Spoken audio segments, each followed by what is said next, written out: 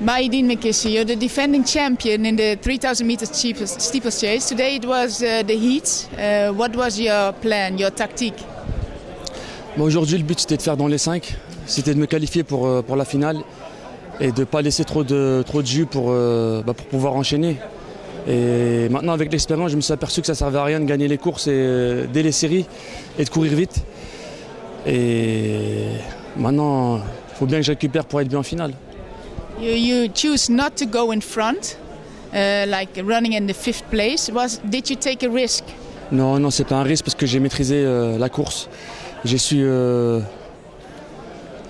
j'ai su être attentif et j'ai senti mes adversaires qu'ils n'étaient pas, pas très bien dans la course. Donc euh, j'ai géré. How is your shape? Ouais, je suis bien. En tout cas, j'avais hâte de débuter parce que là, à l'hôtel, on se faisait un peu, on se faisait un petit peu, on s'ennuyait.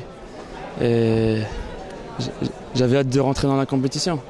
Is it now different with also having the athlete from Turkey, who is also a strong opponent? Ouais, c'est mon copain, le Turc. Euh, Agdag, c'est quelqu'un que je connais très bien et, et, ça va être un adversaire dangereux pour la finale. En tout cas, je vais faire attention à tous, mes, tous les adversaires. Il faudra respecter tout le monde et faut pas croire. Hein. Je ne vais pas gagner aussi facilement que tout le monde croit. En tout cas, tant que j'ai pas franchi la ligne d'arrivée, tant que j'ai pas défendu mon titre, il peut se passer plein de choses.